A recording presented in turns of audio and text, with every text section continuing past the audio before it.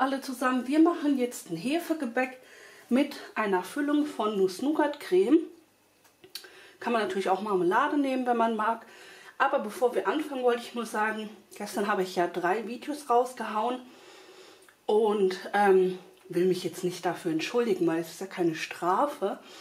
Aber will trotzdem sagen, für die, die dann denken vielleicht, oh, das wird mir zu viel, ähm, das wird nicht auf Dauer so sein. Also gestern war ich total in Wallungen, da hatte ich irgendwie total Bock drauf. Aber das wird auch wieder Tage geben, wo zwei, drei Tage nichts kommt, ähm, mit Sicherheit. Und ähm, ich kann das aber nachvollziehen, dass man vielleicht dann denkt, ach, was will sie denn jetzt schon wieder? Das soll natürlich auch nicht passieren. Aber ich will halt nur vorwegnehmen, dass das nicht die normale Regel sein wird. Also keine Panik für die, denen es zu viel ist. Und ähm, ja, und jetzt kommen wir zum Teig. Und zwar, ich habe jetzt hier drin die flüssigen Zutaten erstmal zusammengegeben, weil durch das wir ja mit, also wegen der Hefe müssen wir die ja lauwarm haben. Und habe ich jetzt einfach mal alles zusammengegeben und zwar, ist halt eine ganz kleine Menge, deswegen wundert euch nicht bei den minimalen Mengenangaben. Da sind dann drin 15 Milliliter Wasser, 10 Milliliter Milch, 15 Milliliter neutrales Öl, 15 Milliliter Sahne und das habe ich zusammen dann leicht erwärmt, habe dann einen Teelöffel Trockenhefe dazugegeben und dann habe ich einfach noch zwei Teelöffel Zucker dazugegeben. Das ist jetzt hier drin, steht aber alles unter dem Video in der Infobox. Dann haben wir hier entweder 25 Gramm Quark oder Joghurt und hier drin sind dann noch die trockenen Zutaten wie 90 Gramm Mehl, eine Prise Salz und einen halben Teelöffel Backpulver. Also es ist schon richtig bei dem Rezept, dass wir Hefe und Backpulver zusammen haben. Und jetzt gebe ich einfach mal die restlichen Sachen dazu. Wie jetzt in meinem Falle Quark und Mehl, Backpulver und Salz. Und dann verrühren wir das. Und dann muss ja der Teig erstmal ruhen. Ich habe jetzt zum Beispiel auch meine Nuss-Nougat-Creme in kleine Häufchen gemacht, weil die war sehr weich ähm, durch die Temperaturen. Obwohl jetzt nicht die Hitze gerade draußen sind, aber es war halt bei mir trotzdem so und habe das ins Gefrierfach gegeben, einfach damit ähm, ich damit besser arbeiten kann. Das ist aber nicht zwingend notwendig, nur ich hoffe, dass ich mir damit das erleichter. Aber jetzt tun wir erstmal den Teig verrühren.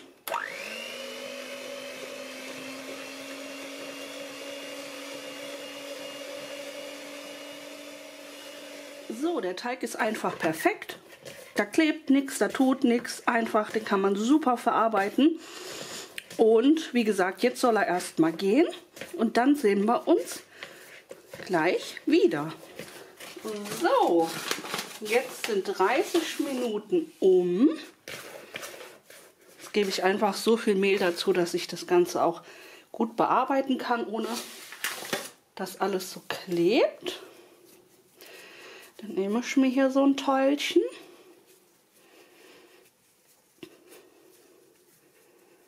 Guck, dass ich einfach so das überschüssige Mehl so einarbeite, dass wir da nicht zu viel haben. Und hier habe ich jetzt meine kalten Nuss-Nougat-Teilchen. Die sind halt etwas verlaufen, weil ich ja vorhin auch gesagt habe, dass bei mir die Creme flüssig war. Hätte ich vielleicht im Kühlschrank aufbewahren sollen, aber egal. Das geben wir jetzt hier rein. Dann tun wir das einfach versuchen, so gut es geht, zu verschließen.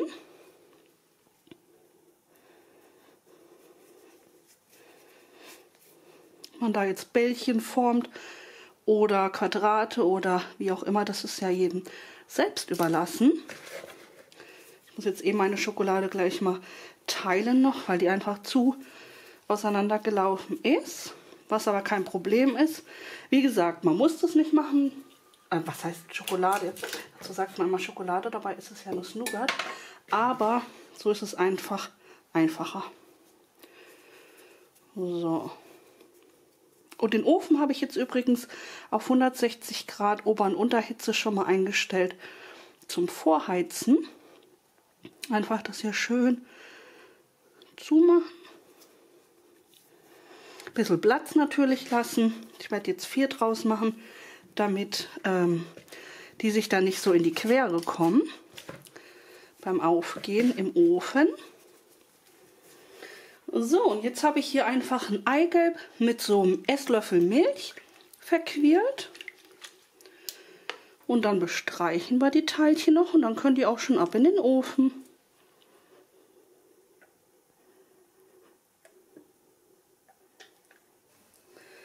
So, das sind jetzt unsere ganz soften Hefeteilchen mit Nuss-Nougat-Creme.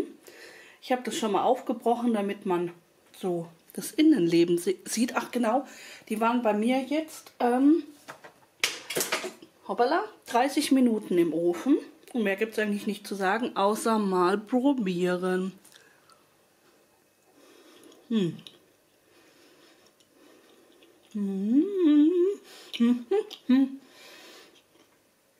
Ich liebe diesen Teig über alles.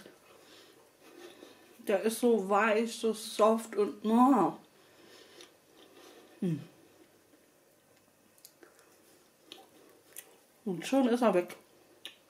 Hm kann euch das auch gerne nochmal demonstrieren. Kann sein, dass es manchmal auch aufplatzt, was aber auch nicht schlimm ist. Und dann sieht das Ganze von innen einfach so aus. Oh, das schmeckt so gut. Hm. Mega.